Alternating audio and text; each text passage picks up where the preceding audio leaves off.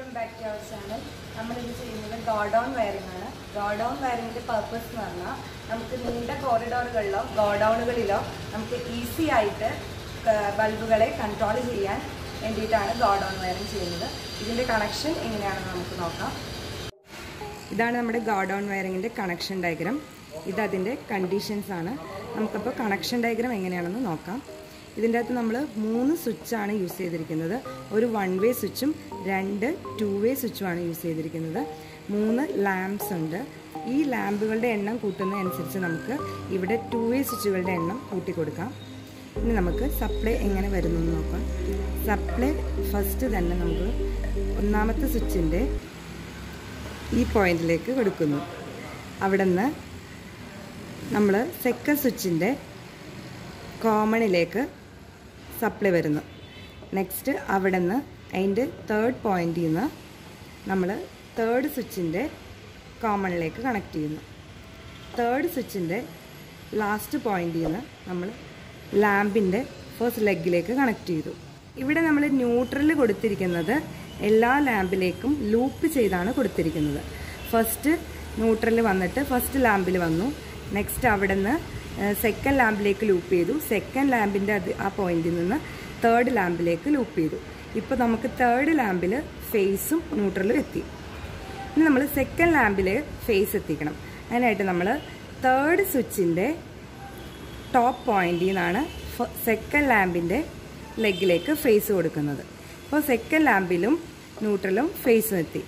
ഇനി നെക്സ്റ്റ് വന്നിട്ട് ഫസ്റ്റ് ലാമ്പിൽ സെക്കൻഡ് ലാമ്പിന്റെ ടോപ്പ് പോയിന്റിൽ നിന്നാണ് ഫേസ് എടുത്തിരിക്കുന്നത്. ഇതാണ് നമ്മുടെ കണക്ഷൻ ഡയഗ്രത്തിൽ പറയുന്നത്. പിന്നെ നമുക്ക് കണ്ടീഷൻ ചെക്ക് ചെയ്യാം. കണ്ടീഷൻ ചെക്ക് ചെയ്യാനായിട്ട് ഫസ്റ്റ് നമ്മൾ മൂന്ന് സ്വിച്ചും ടോപ്പ് പൊസിഷനിലേക്ക് ഇട്ടു.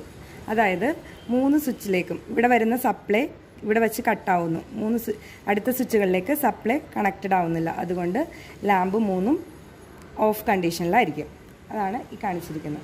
മൂന്ന് ലാമ്പുകളും ഓഫായിരിക്കും. നെക്സ്റ്റ് നമ്മൾ ഫസ്റ്റ് സ്വിച്ച് താഴേക്കിട്ടു താഴത്തെ പോയിന്റിലേക്ക് കണക്ട് ചെയ്തു.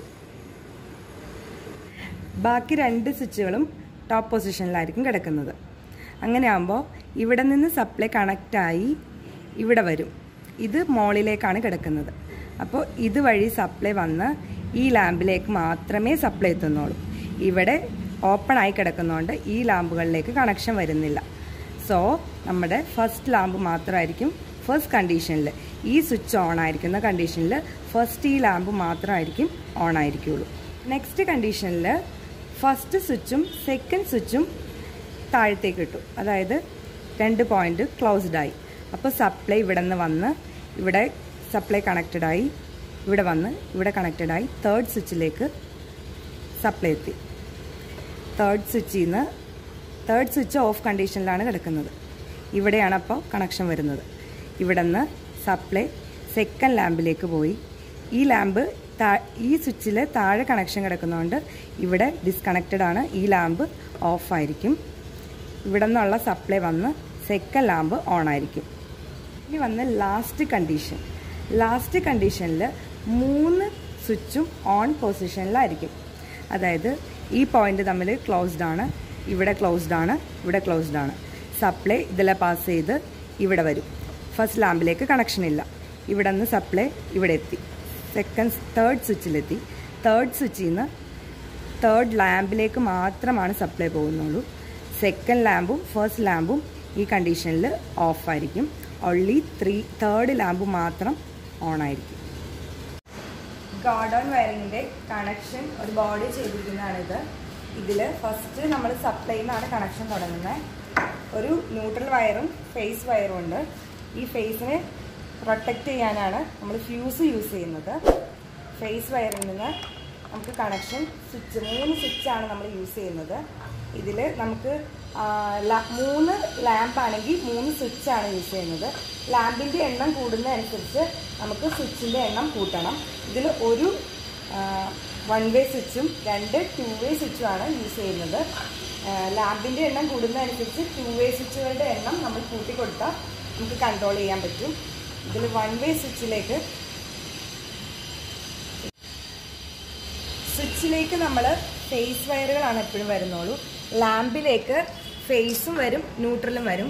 ഫസ്റ്റ് തന്നെ നമ്മൾ നമ്മുടെ ന്യൂട്രൽ വയറ് ലാമ്പിലേക്ക് കൊടുത്തേക്കുവാണ്. ഈ ലാമ്പിൽ നിന്ന് എല്ലാ ലാമ്പിന്റെ ലാമ്പിന്റെ എല്ലാ ന്യൂട്രൽ പോയിന്റ് എല്ലാ ഹോൾഡറുകളിലേക്കും ലൂപ്പ് ചെയ്താണ് കണക്ട് ചെയ്തിരിക്കുന്നത്.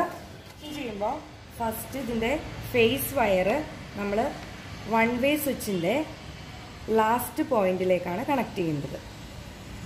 ഇതാണ് ഇതിന്റെ സെക്കൻഡ് പോയിന്റ് ഈ സെക്കൻഡ് പോയിന്റിലേക്കാണ് കണക്ട് ചെയ്യേണ്ടത്.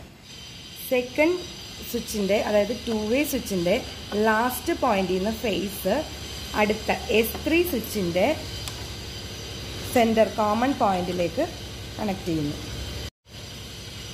ടു വേ സ്വിച്ചിന്റെ ലാസ്റ്റ് പോയിന്റിൽ നിന്ന് ഫേസ് ലാമ്പിന്റെ ഒരു ലെഗിലേക്ക് കണക്ട് ചെയ്തു. ലാമ്പുകളിലെല്ലാം നമ്മൾ ന്യൂട്രൽ വയർ ലൂപ്പ് ചെയ്ത് കണക്ട് ചെയ്തിട്ടുണ്ട്.